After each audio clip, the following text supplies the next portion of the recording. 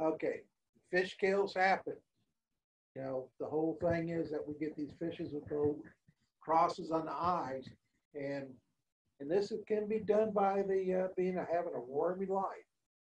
You know, there's all sorts of little critters that live in uh, in fish, and a lot of times they have don't do any harm to the fish, but there's times that uh, they are a situation, and we can end up with massive fish kills.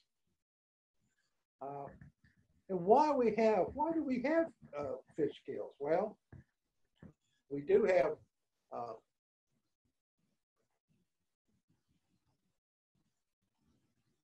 uh, parasites. Can we see a little laser pointer now? Yes. Yes. Okay, Yes, great. see. Uh, we we always have a host. In this case, we got a catfish. We have a aquatic environment it lives in, and a, a, and a pathogen out there. You know, we got environment, host.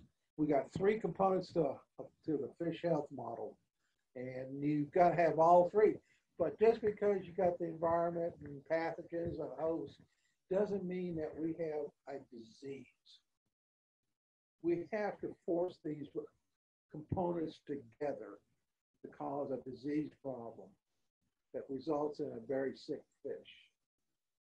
So something happens. What drives drives this model together where we have a pathogen host merging is the environment stresses out the fish and merges it to a situation where the pathogen can infect the fish and cause a massive mortality. Here we got poor uh, environment and a lot of fish that's died because we weren't checking the water quality, oxygen levels.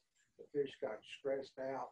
Pathogens jumped on the fish, resulting in a disease, epizootic, that causes a massive fish kill. Okay.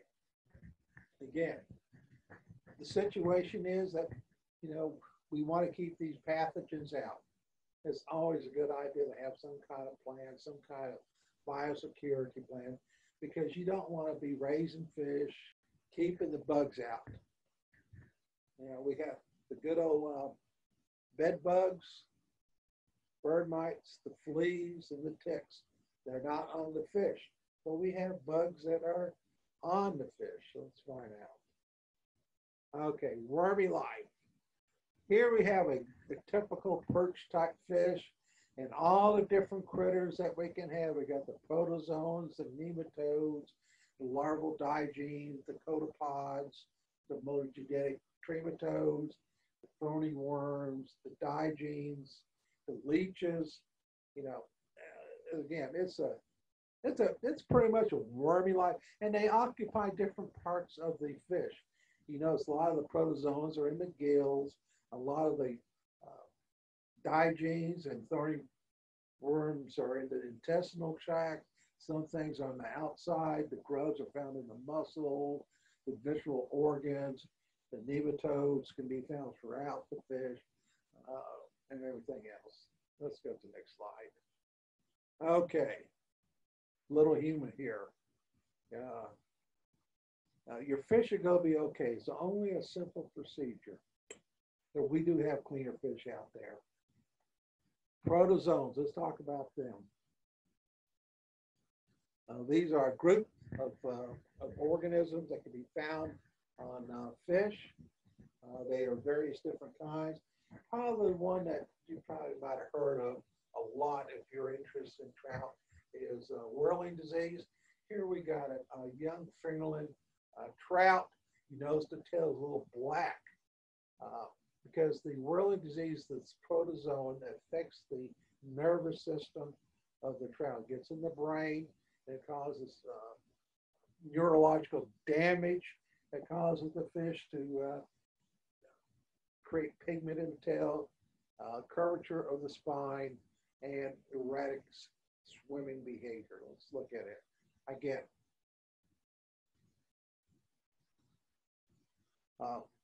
Uh, the host is uh, the definitive host for whirling disease is the is the uh, uh, some type of some like a rainbow trout. it's a produced by Myxobolus cerebralis. It's a little uh, protozoan type organism. It's really not a protozoan. It's a uh, more related to jellyfish uh, on this. Uh, they have an own phylum now. They're not even related, but we still kind of relate these back to uh, to protozoa. So we have these spores that are produced in the fish. Uh, the fish dies. They're released. They can be picked up by birds and spread around.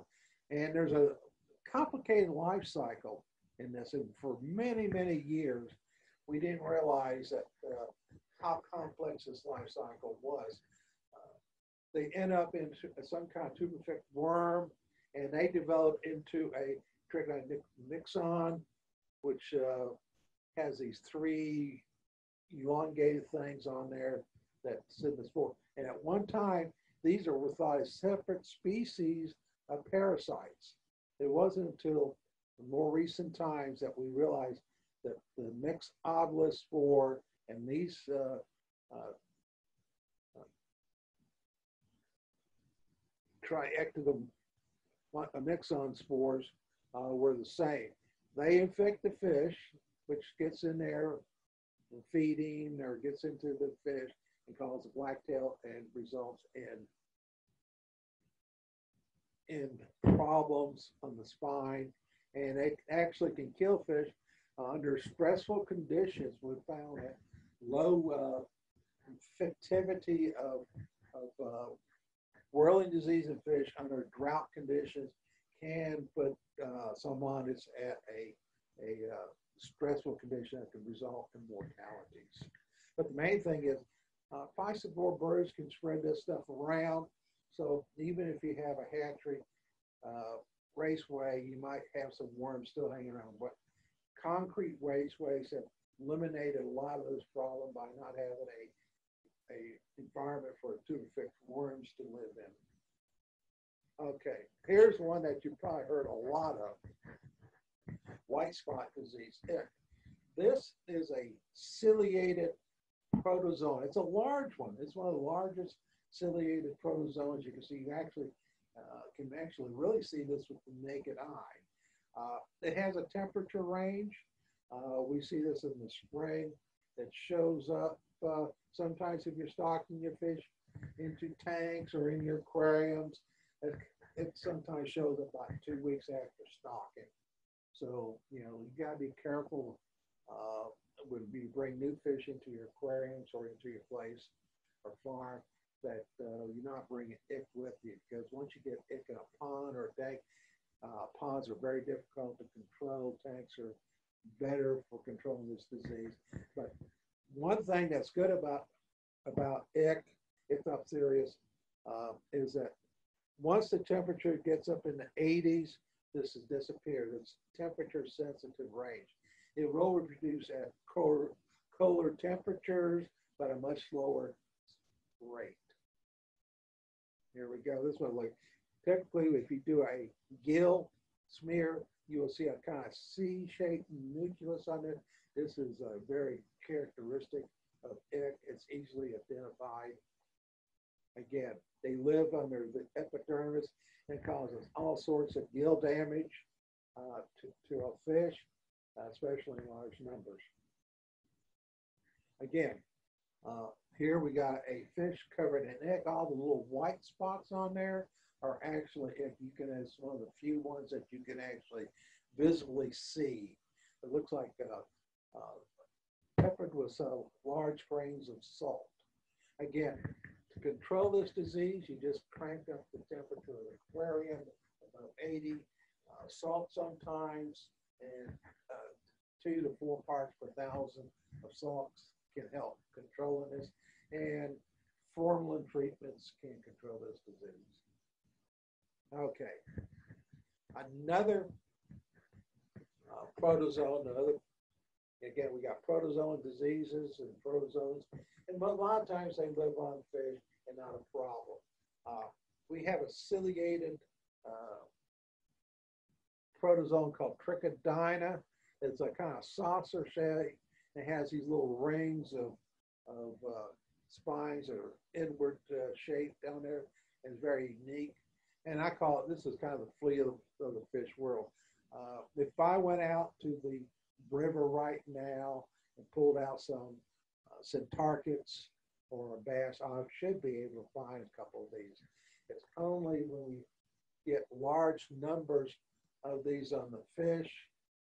Let me show another slide here. This back up. Large numbers, you know, we go in there and take a, a uh, gill clipping of the fish and we look at it on a microscope. We see hundreds of these things. I've got another picture later on on this. Uh, again, this is probably the most common uh, protozoan parasite you can see. Uh, we have oxygen problems. You can find this on the skin. I've seen fish that were so heavily infested with uh, trichodine, the skin actually seems to be moving. There's so many of them. Uh, here we go. Now here's just a just a low powered shot through a microscope with a fish that just totally loaded with uh, trichodina. This fish was having serious problems because uh, these trichodina gets on the gills, cause oxygen problems, and the fish suffer. And anytime you stress the fish, there's other kind of diseases that can come in and cause us issues like bacterial problems on a fish. Okay, uh. This is another protozoan we see on, on gills of fish. They're barrel shaped and they have a row of cilia at the top. And a lot of times we can see these in large numbers on fish. Uh, again, any kind of formalin treatments usually can remove a lot of these uh, parasites from your fish. Okay, this is one of my more favorite ones. Uh, it's a suctorian parasite. Uh, they changed the name. I still got Trichophrya. I like the name better, Trichophrya, than the name they got for it. Anyway, these are cute. They look like almost little aliens when you look at them under the microscope. They got these little tentacles that reach out, and these are feeding tentacles. This is how they feed. And they get down into the gills the gills have these little troughs and they get down in these troughs and they block water flow and they cause some issues. The numbers of them can be very high. A lot of times they can be in the, on the fish, the technicals so that you don't see it. They reproduce by budding, which they, part of the uh, organism buds off and it's like a little ciliate that goes attached somewhere else. Again, these are fairly cool parasites uh, that you can see on fish and these are also uh, um, created by stress too. We've seen these uh, uh, after stocking catfish into cages, come back and we're monitoring the cages for diseases, and we see these guys on there. Um, but these parasites can result in death of fish. Okay. Uh, another another disease that's real famous in the uh, catfish industry uh, and this is caused by another protozoan parasite, very similar to the type protozoan we talked about in whirling disease, proliferative gill disease. Here is a section of gill showing the uh, cyst of the parasite in the gills, causing all sorts of inflammatory response, proliferation of uh, gill tissue. Here we have a picture of a gill that has fungus and, and all sorts of issues carrying on that says turns the uh, gills into mush, really. And sometimes it's called hamburger gill disease.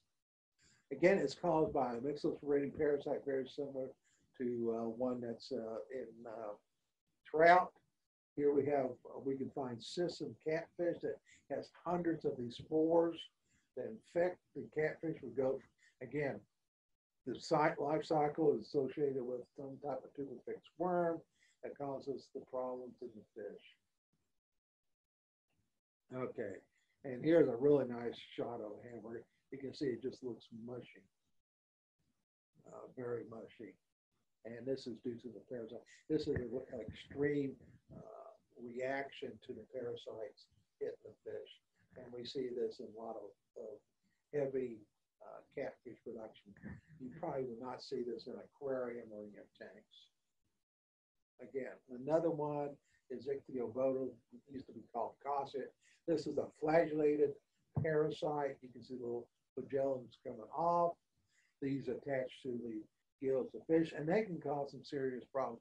These are uh, serious uh, uh, disease, protozoal disease of, of fish, uh, catfish, uh, bluegills, uh, tilapia, whatever. These are common on fish. It's a numbers game. You can see in a live microscope shot, you see all these parasites on here. This is a section of a gill. You can see a lot of inflammation, a lot of proliferation of tissue. All these are parasites. All these are parasites attached to the gill. Using the, the flagella to attach to the gills, which cause a reaction, and that causes problems for the fish. Again, formalin will take care of that. Again, this these are the kind of parasites you would see under poor environmental condition. Remember, we go back to the fish health model where we see the pathogen, the environment, and the host. These guys are out there somewhere. And when you reduce the quality of your environment, poor water quality, high nitrites or ammonia, you'll see these parasites popping up. Now let's go to uh, non a uh, multicellular parasites, the monogenetic uh, trematodes, the flukes, and these are fairly common. These are a very diverse group and very interesting group. Uh, here we have Gyrodactylus. This is a uh, typical monogene. Uh, we have some anchors and there's some hooklets. We have these anchors and there's a hooklet. This is a hooklet. This is the anchors. Uh, in this case, we have a, a daughter uh, gyro. These are uh, they're capable of having uh, live birth. These are oviviparous uh, organisms. Uh, and if you really look closely on the microscope, you see a daughter gyro that's about ready to come out. But if you look in that one, go into the daughter one, there's also another one ready to go out too. So we can have, we've got three ready to go. Uh, these are very prolific. They get on gills. These anchors are grabbing onto the gill tissue, onto the skin, which allows uh, portals uh, for bacteria to enter the fish that can affect the fish. Uh, we can find, always find a, uh, a monogenetic trematode on a fish. Uh, that can cause some problems, but it's numbers game too. Just to show you uh, what I'm talking about when it comes to introduction of bacteria, there's a lot of information that we have out there that Gyrodactylus on tilapia uh, can cause a portal for streptococcus infections again to the tilapia.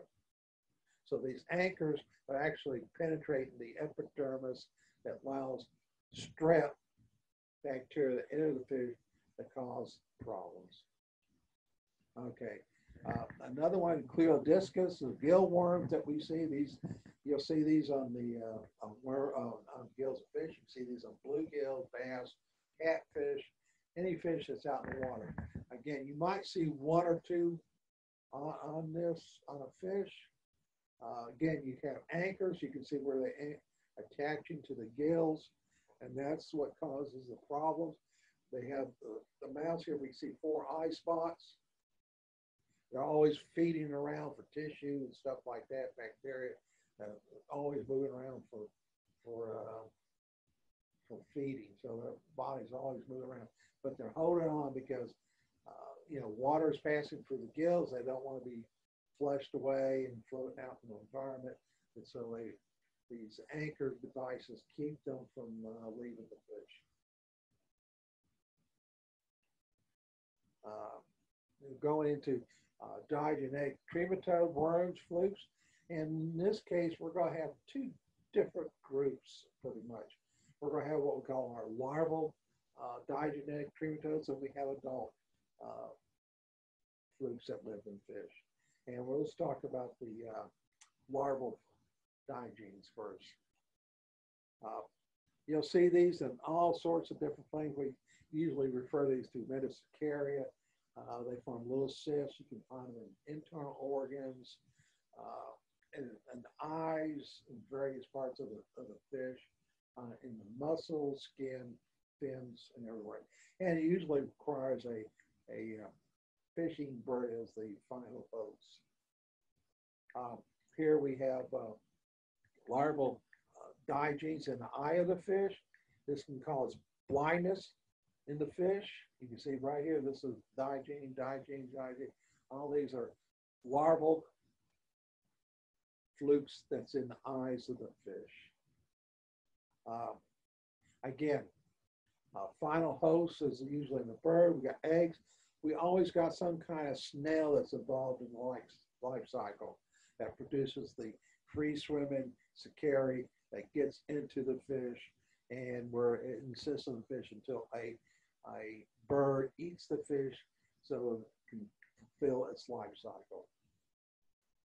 Uh, black grubs, you can see this on the skin. These are due to more larval uh, that you can find in fish. And if you open up the muscles, it's in the muscles. Uh, kingfishers usually involved in this black spot disease. Again, you were always, the pattern here is fish, some kind of snail, intermediate host fish, find definitive host bird. Here's a, this is a good one here. This was a flesh uh, fillet we took off of, of a fish. You can see all these little black spots now. Uh, these are usually don't do any harm to you. Uh, once you cook them, that takes care of the parasite. But that is not a what you call. You may see this sometimes when you go out fishing and you pull a bluegill out or crappie. You might see something like this on the uh, muscles and on the skin of the fish. Again, you can just discard it or you can cook it. Here, here's a nice bluegill. You can see these nice little black spots on the fins of the fish where the larval digene has existed. That's a little, that's about a four inch uh, bluegill not ready to eat. But uh, again, snails in ponds cause these problems. And one way you can reduce the snail population in any pond to reduce these larval grubs uh, that gets on the fish is uh, uh shell cracker red ears. That's a of centrarchid. They tend to eat snails, small snails, and that can reduce the snail population, which will result in reducing the black spots that we see on these fish. Here's another one, famous one called yellow grub. And here we got a nice bass. Open up the gill flap, the Perkins flap. You can see the all attachment. Now, what's interesting about yellow grub, uh, it's it's it's a, another larval digene. It needs another it needs a fish-eating bird. Uh, sometimes uh, these sometimes become incidental parasites if eaten raw in humans. I think I got something on that at the end. Again, uh, fish-eating bird, some kind of snail, Cercaria gets out, gets in the intermediate fish. In this case, we're talking centrarchids. So we have a, a life cycle. As you got birds coming in, they probably got some flukes and they're going to release the eggs into the water which results get into the snail that produces the infective stages that gets into the fish itself. So we have a red ear, we can have red ears uh, munching on these uh, on these snails to reduce the life of young which is the Clinostomum marginata. Okay, here we go. Another one that's real famous in, uh, in bluegills and other uh, species of centrarchid is white grub. Uh, this picture right here is a picture of a liver from a, a fish loaded with white grubs. You never will see this in, in uh, most of the time when you're doing bluegills, but they're always there. Uh, many folks will typically not even see that because once you've got a bluegill, all this stuff goes out and you really not pay attention. But here we have a liver kind of squish showing all the white grubs that was in that fish. And here we got another picture showing the cyst itself with the white grub in there from the fish. That's all the liver here. So they are that. You can find these on the kidney, intestinal tract, livers, uh, um, uh, on a fish. Again, where it's involved with a, a fish-eating bird. Now, I'm just not going to show you a whole lot here. There are adult digenes that lives in the intestine of, of, of fish, and there's quite a few of them. I'm not going to go through them because they're usually uh, in a situation they're in a sim- more symbiotic relationship, not doing any harm. But if you uh, open up intestinal systems of fish, you may find some adult digenes, and these do not involve a a uh, fish uh, fish-eating bird. The adults lay the eggs, excrete through the intestinal systems of the fish, gets in the water, gets in the snail, and goes back into the fish. So this has a more direct life cycle versus the larval uh, digenes that we've seen uh, earlier. Now, some people really enjoy uh, thorny head uh, worms or spiny head worms. These are Acanthocephalans that we see in fish. Let's show a picture of one, uh. This is what we call thorny head worm. These have uh, male and female worms. They have hooks that they grab onto the intestinal tract and pull in hold on to. In fact, they're found in the intestinal tract of fish. Let's see, here's here we got a intestine of the fish open up. Uh, all these are thorny head worms. Uh, there's many different species of them. So, you know, you can see that if I'm a fish, I have a lot of worms.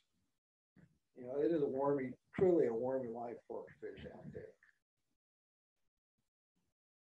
Again, just some drawings showing you different uh, sexes. You can see here the proboscis here with the hooks, and this is some drawings of the hooks. These hooks grab the intestinal lining of the fish, and the proboscis retracted down into the worm. It allows it to remain attached to the intestinal tract and not get flushed out. Again, life cycle, we have male and female. Here's a female, here's a male. This is the male, this is the testes. Here's female full of eggs. Eggs are released and we get into some kind of ostracod, some kind of uh, uh, some kind of ostracod. The worms get in there. Uh, we have an intermediate host, then gets into the fish. So you can see a lot of these worms require some kind of intermediate host in order to fulfill its life cycle. But this ostracods tend to be some food for fish. Uh, again, just show you, uh, this is another example of, uh, of uh, the life cycle and showing a little bit more complexity. Not only can we go directly into the adult, sometimes we can go into another uh, host that's not the uh, definitive host, but it becomes a host that encysts the larval stages for the acants until a fish eats it. So we can have some complexity in life cycle. Remember, adult worms release eggs, some kind of amphipod or ostracod takes it, it produces uh, cysts that gets eaten by the definitive host or by a parasitic host, which is not the definitive host, which encysts it goes into the fish. Okay, nematodes, uh, roundworms. Uh, there's tons of nematodes in the world. Everywhere you look, there's a nematode. Anywhere you go, there's a nematode. They're in sheep, they're in goats, they're in they're in in various spots, uh, various uh, soil. They're free-living nematodes, or parasitic nematodes, or plant nematodes. Um, nematodes cover the world. Okay. Uh, this is a, a really uh, nice one that we can find in, in our centrarchid population is a nematode called Camallanus. And what's interesting about, about this one, it has this little mouth area that looks like a clamshell that attaches to the intestine of the fish. And this is sometimes called the anal bloodworm. And these, these are found in other species of fish too. This is quite common, common in various species of these uh, particular parasites uh, in the intestine of fish. And morphology and speciation is based on a lot of times what this uh, clam-like uh, structure up here looks like.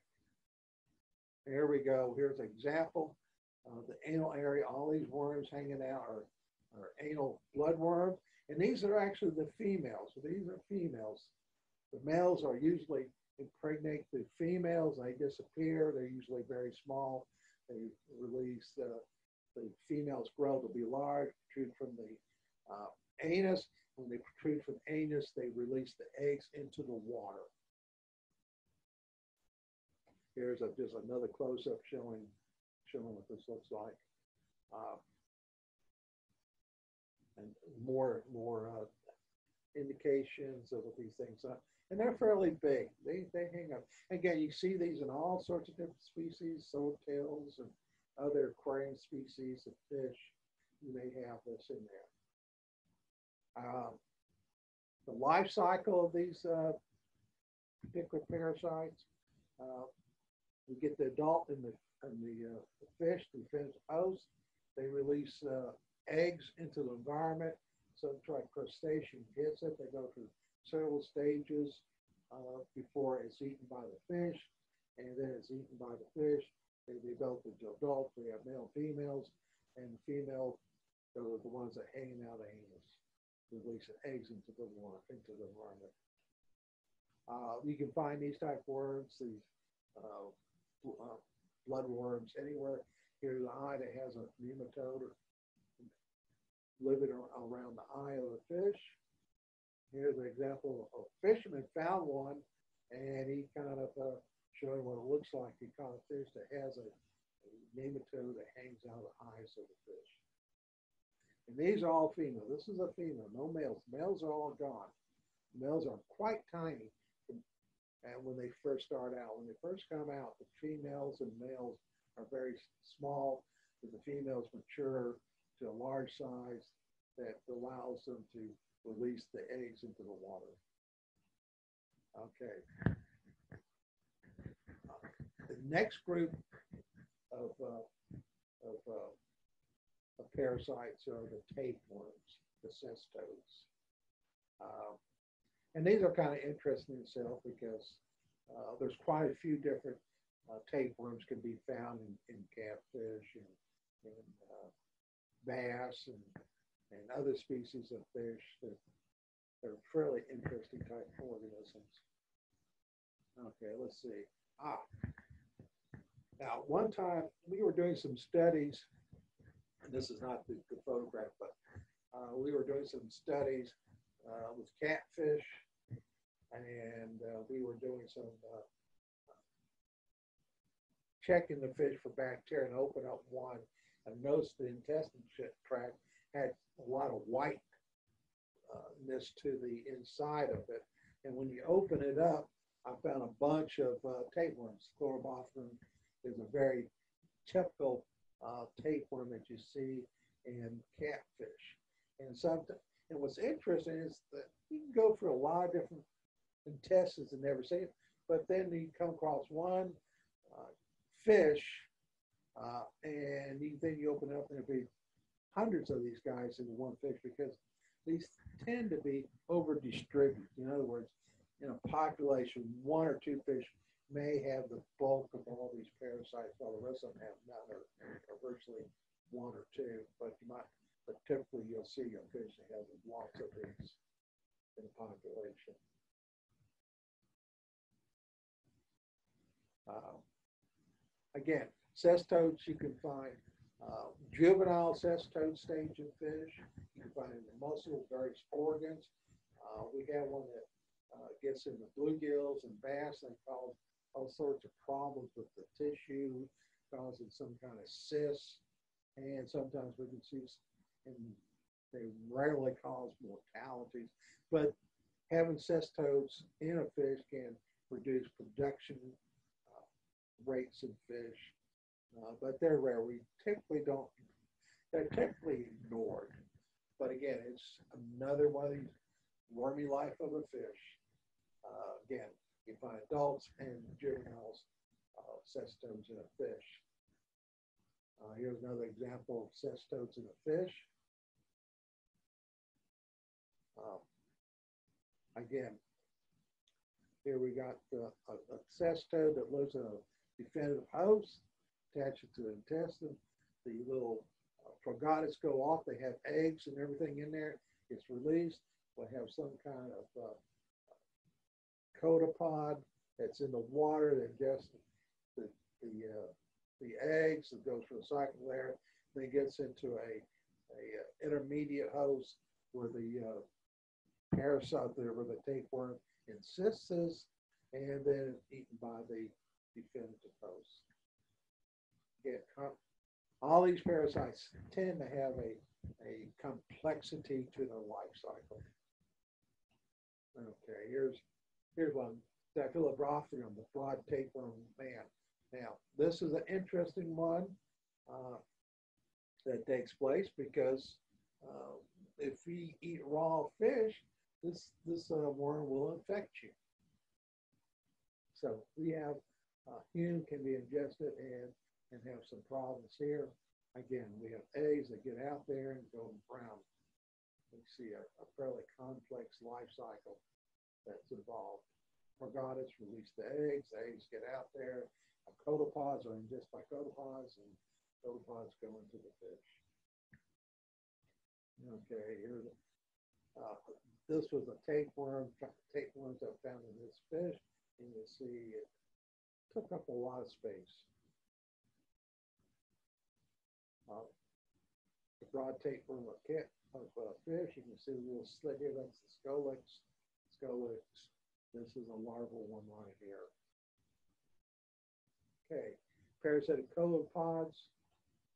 Uh, Lernaea is is probably a, a real famous one. We see anchor worms that they call, but there are several different stages it goes through. Uh, the, sixth stage copepod, sometimes you will see this attached to the gills.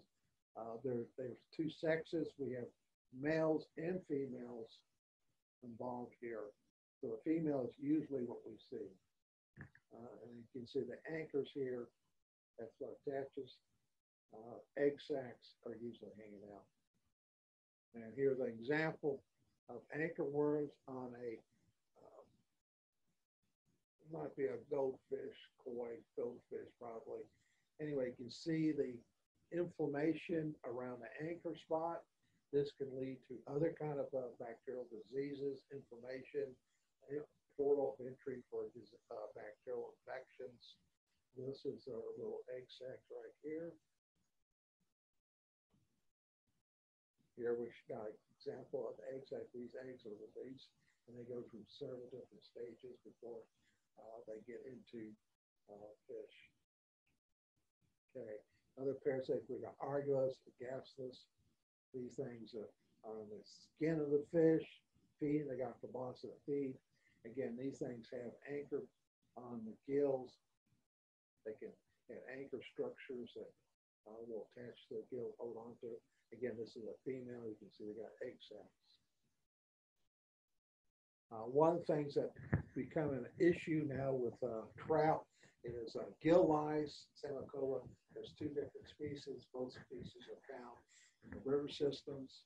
You can see the little anchor spot right here.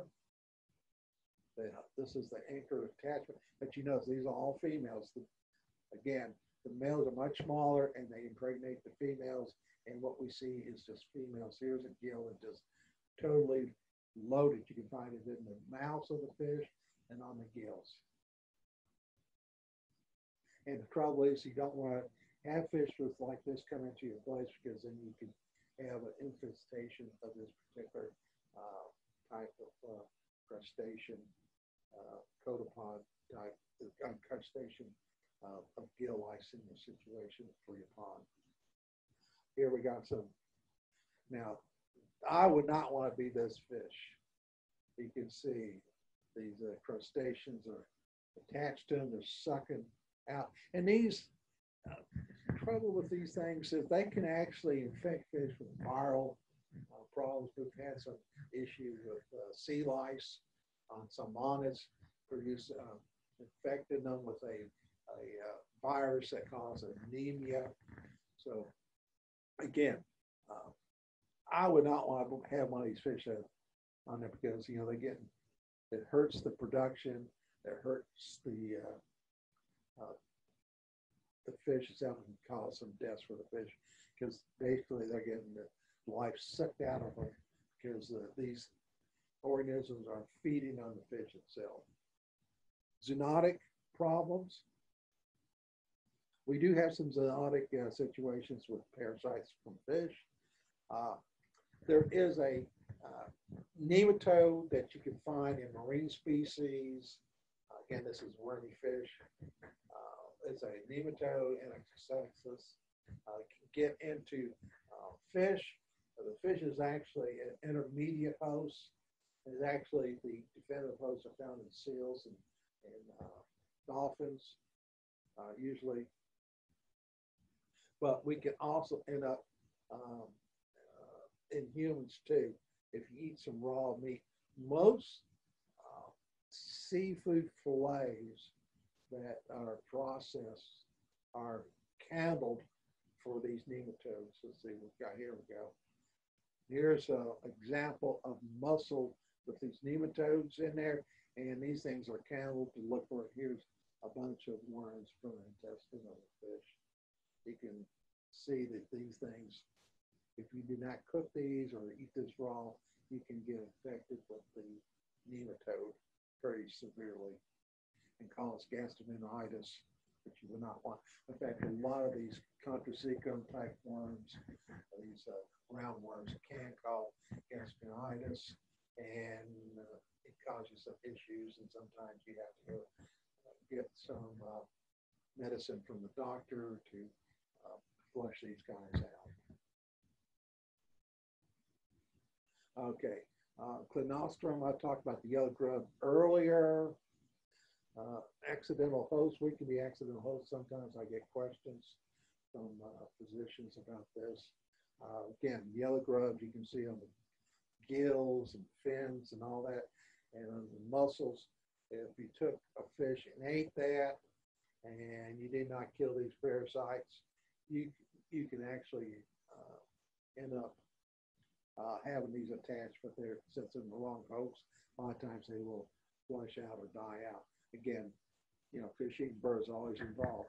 Uh, one thing that we used to do a long time ago is to try to mimic the Diphenothosis use of uh, day-old chicks. We used to feed day-old chicks these larval uh, digenes, and then we would uh, check them several days later to see if the uh, parasite developed into adult. Uh, again, uh, we have liver flukes that's real common in uh, Africa and Asia. Again, uh, they can get into fish, encysted fish. The mescaries can infect the fish. Again, since it's a, a digene, there is a, a, a snail host involved, you try to break the life cycles by usually trying to get rid of the snail. So if you eat the fish, you can end up with liver flukes that get in the intestinal tract and cause you all sorts of, of problems in adults. Okay. So next time you open, look at a fish, you might get a surprise. You might see something looking at you when you open up it, open up one of these things.